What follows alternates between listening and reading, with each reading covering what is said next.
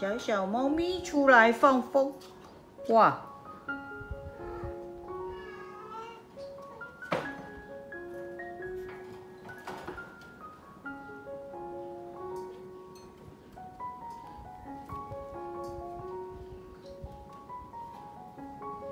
薯泥薯饼关在里面。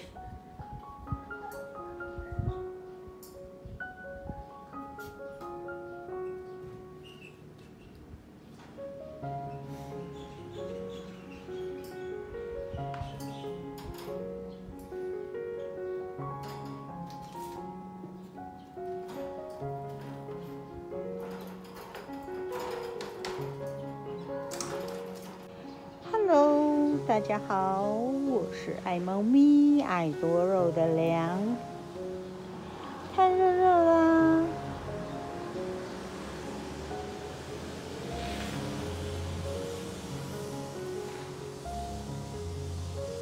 先分享一下，这个是我昨天嫁接的沙漠玫瑰哦，你看，嫁接在这里。我把它大片的叶子都去掉了，留了两片。当然，你全部要去掉也可以。去掉叶片是为了减少那个水分的蒸散，那这样比较容易成功。给你们看看我之前扦插成功的案例。的的，你看，它就是找一颗，然后这里切一个，就把。放下去，然后用那个胶带，我我都是用普通的透明胶带而已。它有专门的胶带，但是太贵了，我不想去买。我就用普通的透明胶带。刚扦插也是一根，然后后来呢，我就再把它剪掉，它就长出两根。这个是我的白色的雪球沙漠玫瑰，我原来的那个母株挂掉了，这是我自己扦。就是嫁接出来的，好开心哦！这是成功案例哦。那这颗目前看起来也还不错，但是它要放在闪光处。什么时候才能拆？通常我都超过半年以后才拆，有在生长，然后超过半年。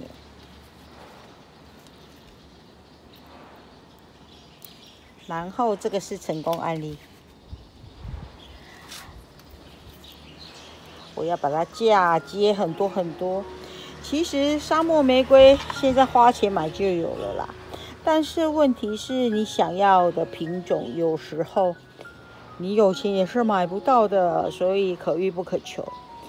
所以可以自己嫁接，我当然就自己嫁接啦。这个是黄色沙漠玫瑰，就是叶那个它的叶那个花型上有红色线条的沙红。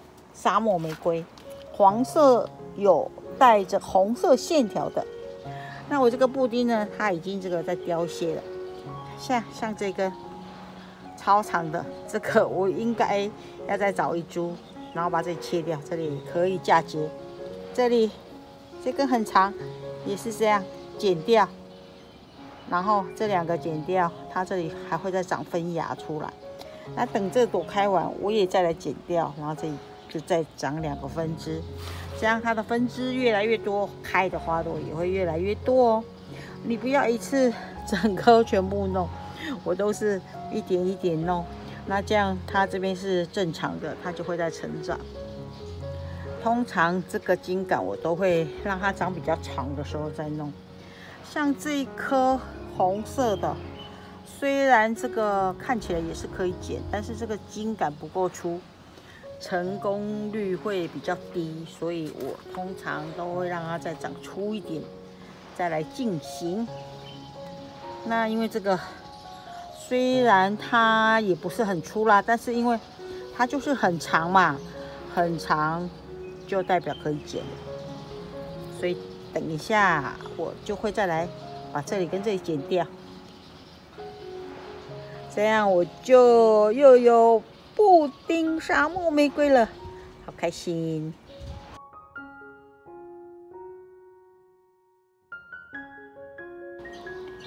今天要跟各位分享的多肉就是我的这两颗黑色饺子皮，你看，全部都变成绿色了。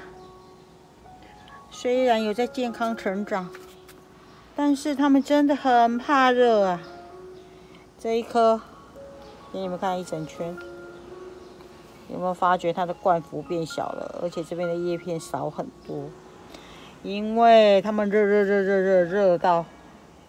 叶片都这样，不是完全果冻，但是又是快要果冻的样子。这是我刚刚拔下来的。前阵子我总共拔了这个，大概拔了六七片，包括这片八片。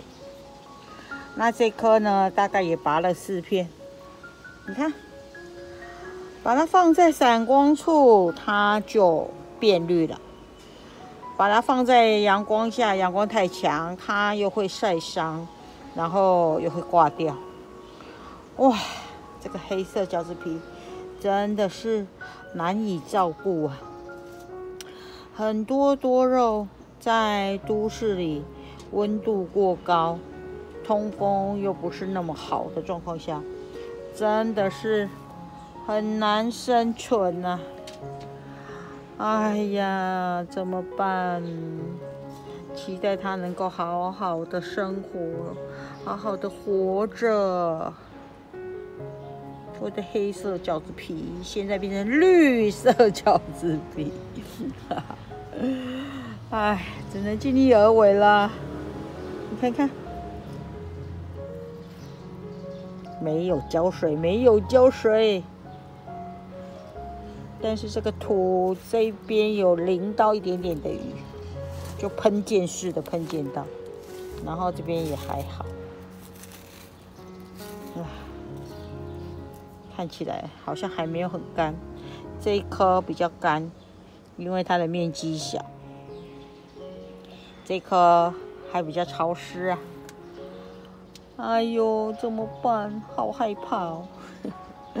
但是他们的宝宝倒是成长的还不错哦，给你们看一下它的宝宝。我的黑色饺子皮宝宝，我总共敷了八盆，就是有八片叶子。目前每一颗都还可以，成长还可以，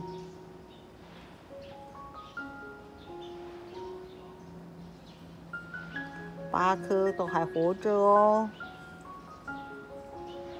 希望他们能成功度夏。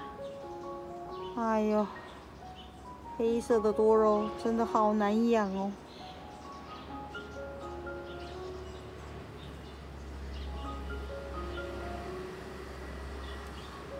你们有养黑色饺子皮吗？你们有人可以支招吗？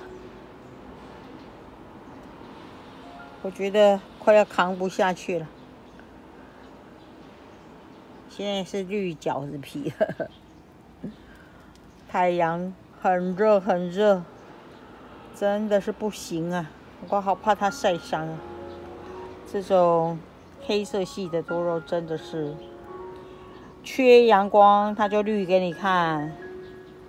你给它照阳光照太多，它又是也是会受伤。